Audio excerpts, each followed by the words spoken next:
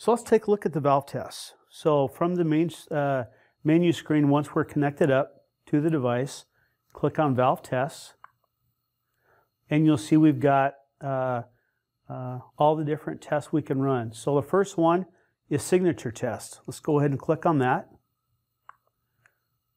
Okay, from here, we can set our ramp time, tolerance, and step milliamp value. Right now we have it set for 5 seconds ramp time, tolerance of 5%, and step is going to be 4 milliamps. Once you have everything set up the way you want to run the test, go ahead and press the up arrow button and that will begin the test.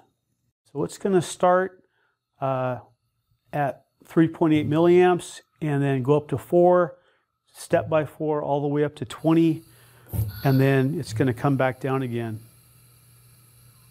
During this time, it's going to record all the information, the signature of that device, uh, and that way you can save this information onto the 710.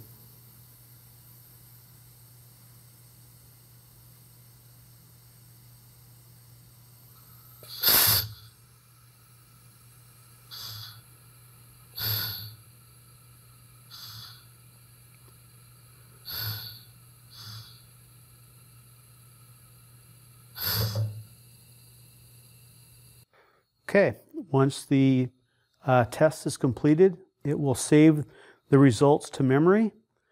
You can press save, clear the whole thing, or discard. We're going to go ahead and save it.